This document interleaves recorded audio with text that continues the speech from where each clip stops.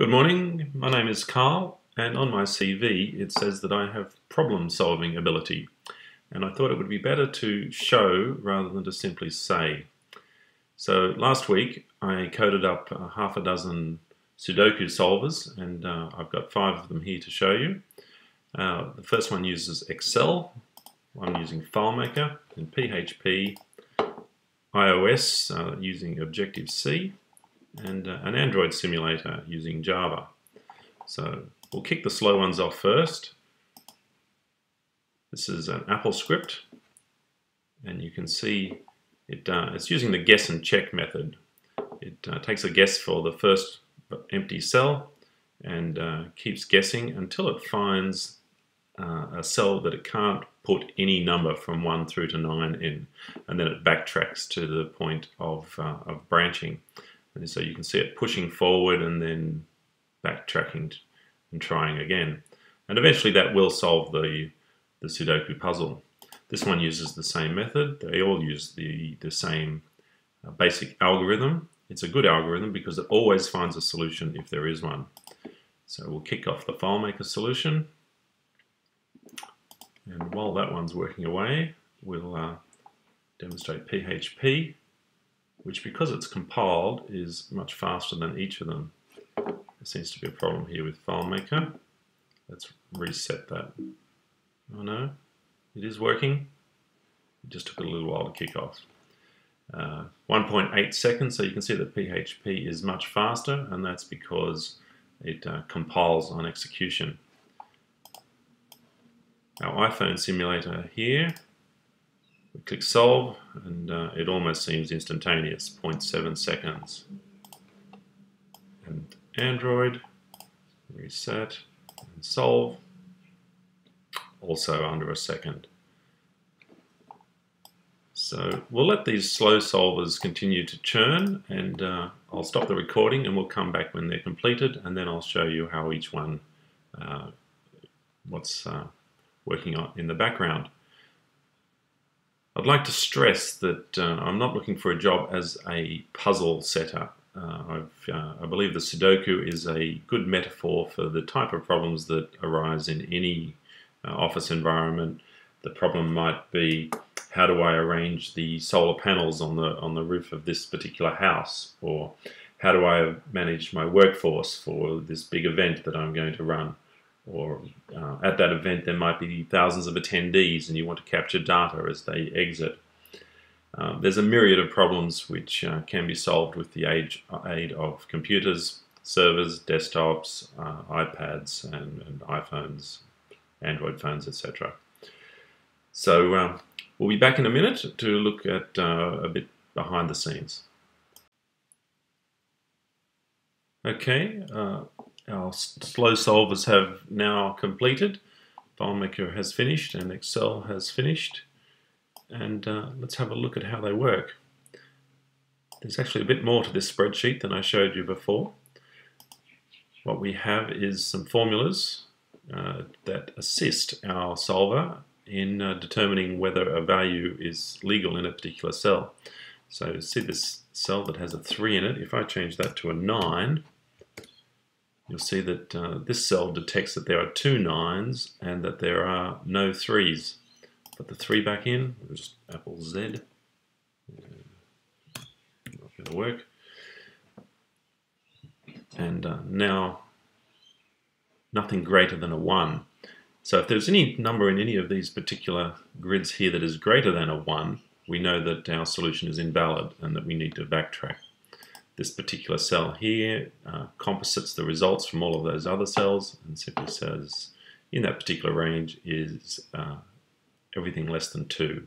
If uh, yes, then we have a valid number, otherwise uh, we are invalid and we need to backtrack.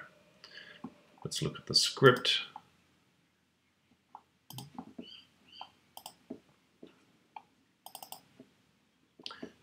There's not a lot to it we set a global and then we tell application Microsoft Excel. We set our global to false and we ask it to solve for cell 1. So in solving for cell 1, uh, we test and uh, check that the cell is empty. If not, we look at the next cell. If the cell is not empty, we uh, loop through the numbers from 1 through to 10, uh, sorry, up to numbers less than 10, so that's 1 through 9, and we loop through until we find one that fits. Uh, if the validity, now validity is the value at cell 1010. So remember that's uh, the, what's in that cell. If validity is equal to valid, then we move on to the next cell. If not, then we backtrack. And uh, this is where we use our global. It's important that after we uh, recurse, here's the recursion happening here and also here. So we uh, increase our index by one as in we move on to the next cell and we call solve. So that's our recursion. This little method calls itself in two places. And uh, on finding a solution, we set our global to true. Right? If we uh, get past the 81st cell, as in the bottom right hand cell, we get right through the puzzle and they all satisfy that valid criteria, then we have our puzzle solved and then we have to get out of this algorithm going back up through 81 levels without interfering with our solution and that's why we use this global. You'll see that uh, after our recursion we go if solved then return. Same here, if solved then return. And that allows us to escape from 81 levels deep uh, without upsetting the contents of our solution. So that's basically all there is to it. This is just a little helper method which uh, converts our index uh, to a set of row and column numbers using a little bit of division and uh, modular arithmetic. Very, very simple.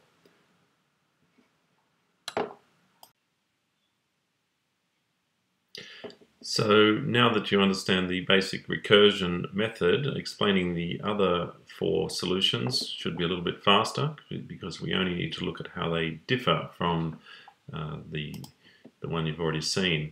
So we'll uh, hide that Excel solution and have a look at the FileMaker solution.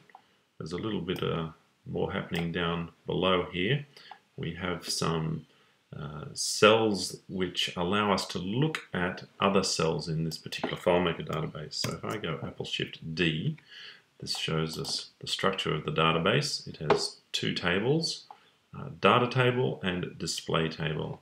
And within that, in the display table, we just have uh, nine rows, each of nine numbers, and we have a row reference, a column reference, a group reference, and a test value. The log was just used for debugging we look at the relationships from our display table, we can look directly into the data table by our row reference and column reference. So for example, if I was to put a 1 in there and a 1 in there, I'd be looking at the data in the, uh, the first cell. We can look at data via row. Uh, this one, for example, row reference to row reference and test value to cell value. And what that does is it allows us to look at other rows containing that particular cell value. So if that if there is more than one number in a particular row containing a particular number, then we know that we have an invalid cell value. So this little structure here allows us to write less code. We don't have to write little methods for looping through rows, columns, or groups uh, in order to check for duplicate values. We'll just close out of there without saving anything. And now we'll look at our scripts. And here is the solve script. It's about the same length as the uh, AppleScript version. And here is the key uh, difference in this one. Rather than having all of those helper cells that uh, we used in Excel, this formula here because of the magic of FileMaker relationships, allows us to count the number of cells uh, that have the same value, and it just checks that they're all zero. It, uh, the number we're testing uh, must not exist in any uh, same row, same column, or same group, and if it does, then it's invalid. So that's our, our test there. And uh, the rest of it, it's the very same code, just written in a different language. All the same. So uh, next we'll have a look at PHP.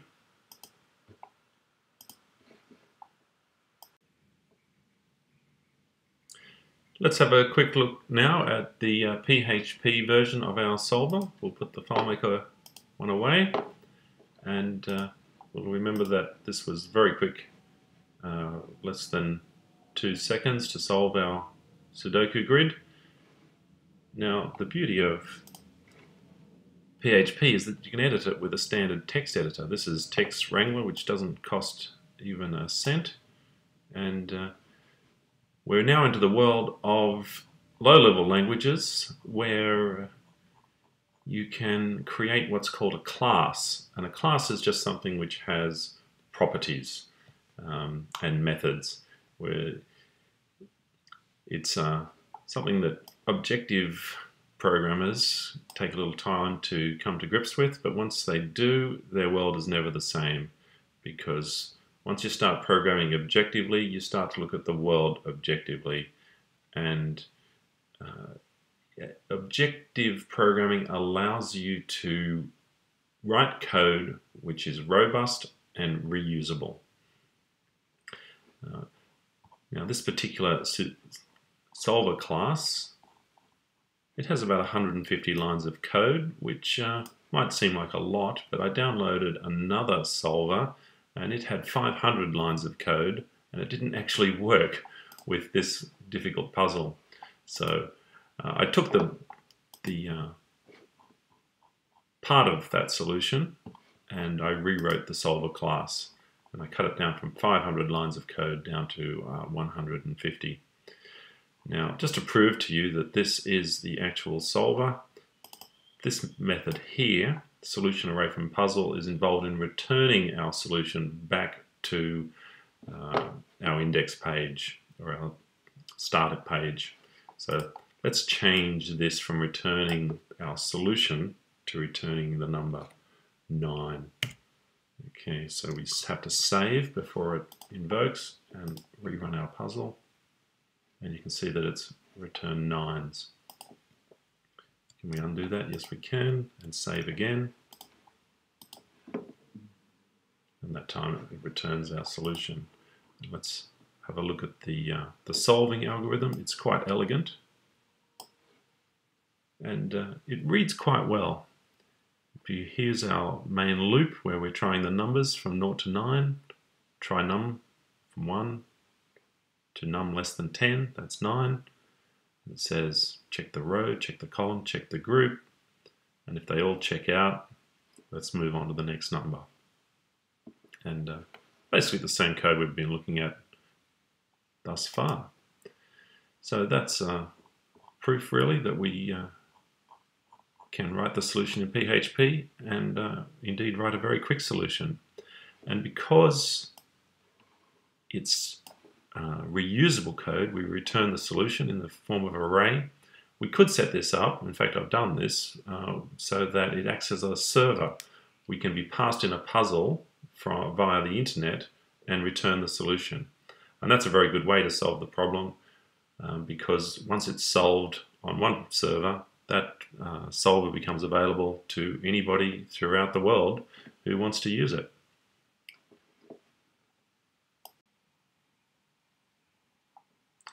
Okay, let's put away our PHP code and have a very quick look at the Java Android solver.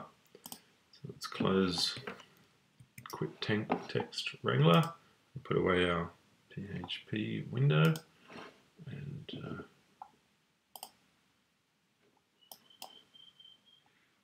have a look at Eclipse.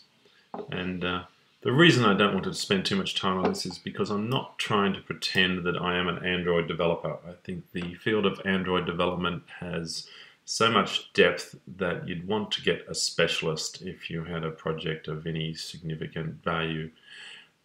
I would be quite happy to take an Android app and an Android app source code and port it through to iOS where I've spent thousands of hours and I feel I um, I would call myself a mid-level, perhaps uh, advanced mid-level iOS developer, but uh, I wouldn't pretend to have those skills in Android. But uh, here's the basic solver. It looks very familiar. Uh, there's our recursion happening uh, there and there, and uh, our familiar check row, check column, check group calls happening there. Okay, uh, I don't want to spend any more time on it. Uh, let's move on to my much preferred development environment, which is iOS.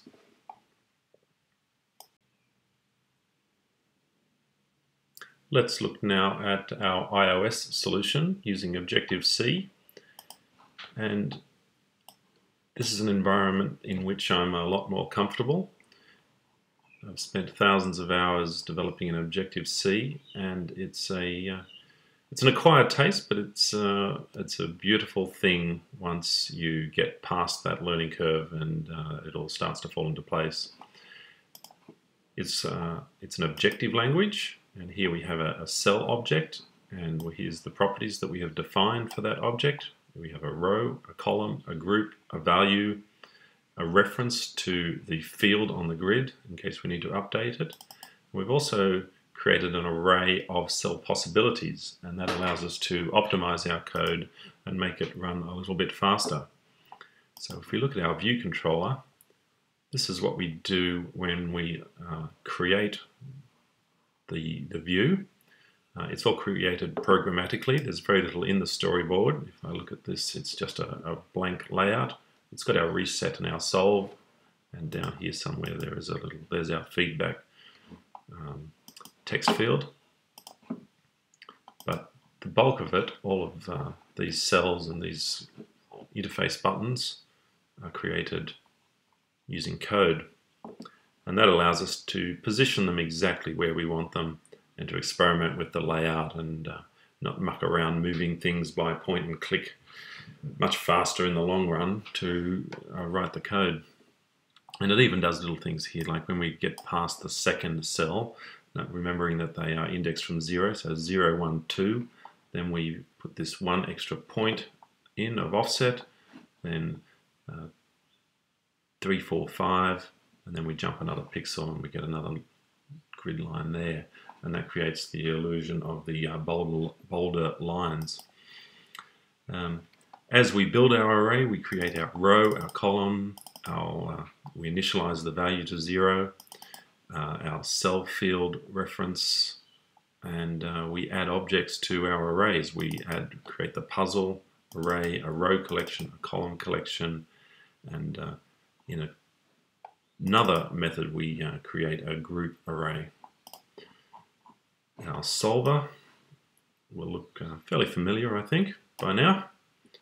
Here it is. It's the same basic iteration, but uh, there's a here's where we optimize rather than looping through the numbers from, zero, from 1 through 9, we just loop through the possibilities, the, the numbers that can possibly be right for that cell. So for example, in this cell, we removed 1, 7, and 9. We took out 3, 1, and 4, and uh, we've already taken out 1 and 9. So for a typical cell, we're left with uh, probably less than 5 values that uh, could exist for that particular cell, and that optimizes our solving time significantly. Not much else to show you of note. I've got another version that runs in iOS that calls the PHP solution, but uh, this is the one that solves it without requiring a network connection. Um, I could talk all day about iOS, but uh, there's a limited amount of time that I can spend on YouTube. Cheers.